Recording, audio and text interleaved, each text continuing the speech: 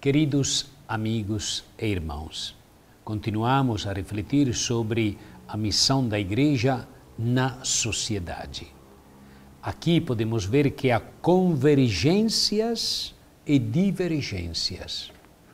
A questão que marca a caminhada da Igreja hoje, a questão desafiadora e ao mesmo tempo bonita, é a questão do pluralismo. A sociedade brasileira apresenta uma pluralidade cultural com sua matriz étnica de origem europeia, africana e indígena. Para o pluralismo também cooperou a vinda de muitos migrantes da Europa e da Ásia ao longo dos séculos XIX e XX, além das grandes migrações internas. E com o desenvolvimento dos meios de comunicação e transportes, a sociedade brasileira inseriu-se ainda mais no mundo globalizado. Este ambiente plural torna-se fecundo quando permite a abertura das pessoas e dos atores sociais à alteridade. A abertura é necessária para o reconhecimento de que a diferença do outro que o distingue não é motivo de afastamento, mas deveria ser um enriquecimento.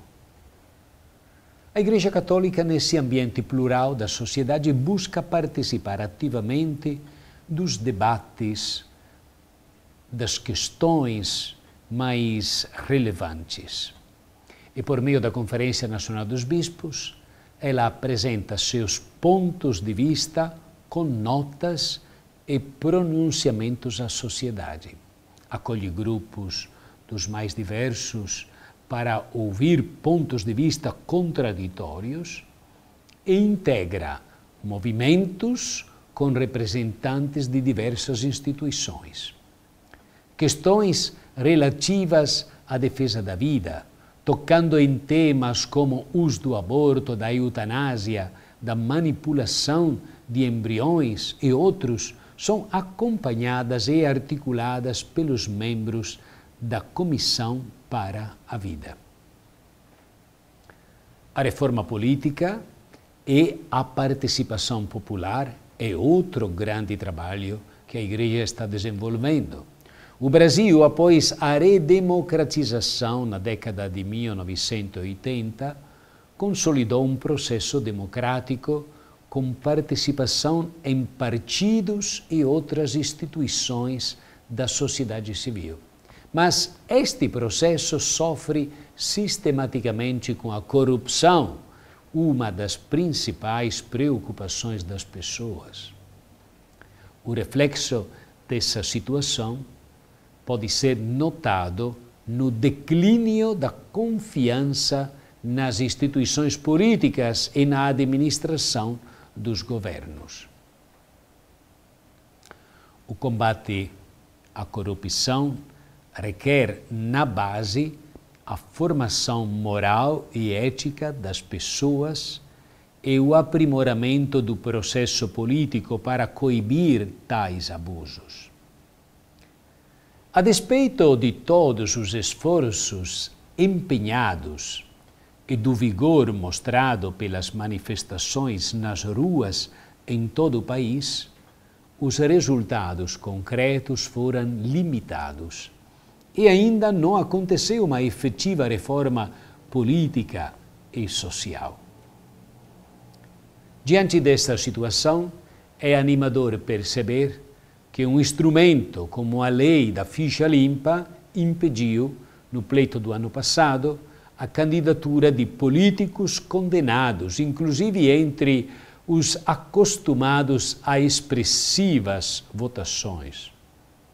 O aprimoramento do processo político e a qualificação dos políticos e dos partidos requerem o empenho e a participação dos cidadãos conscientes e, por isso, dos cristãos.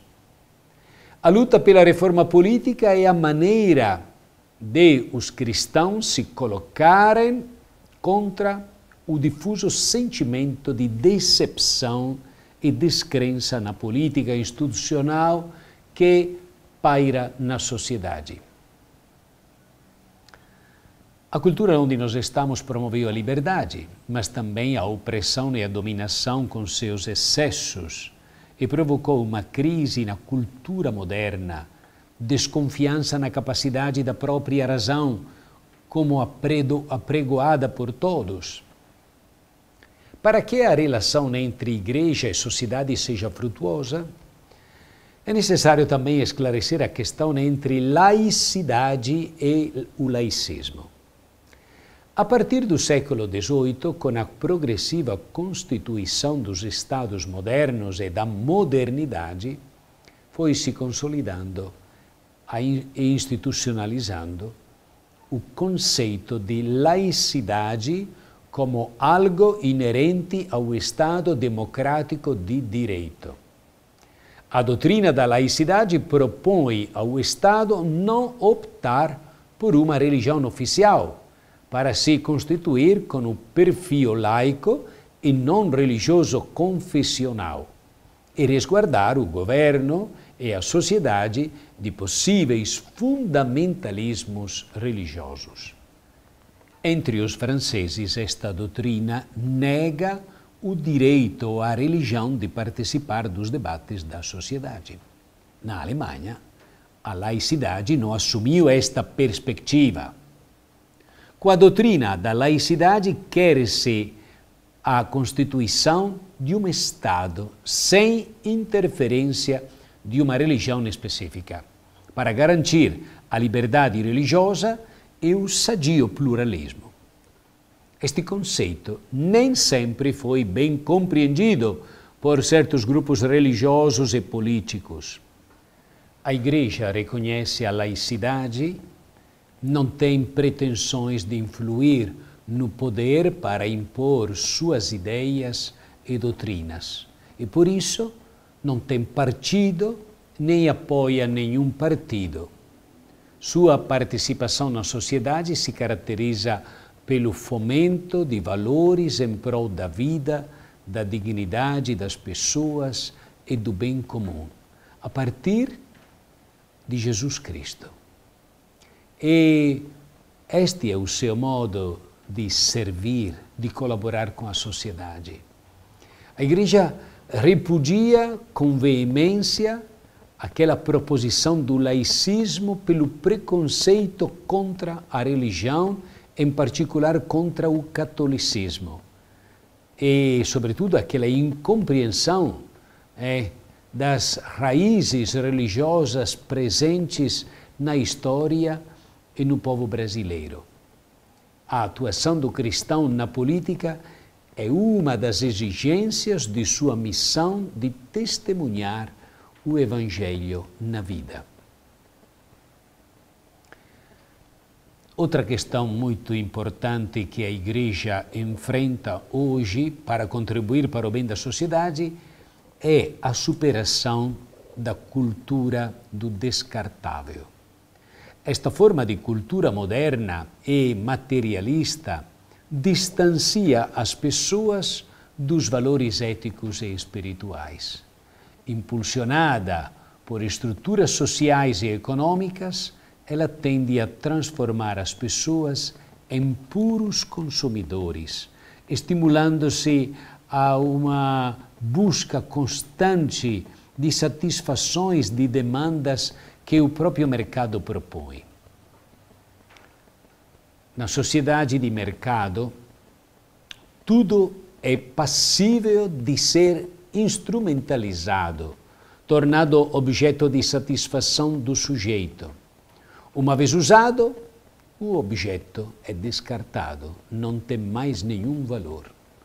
Este processo de objetivação não ocorre somente com as coisas, mas também com as próprias pessoas.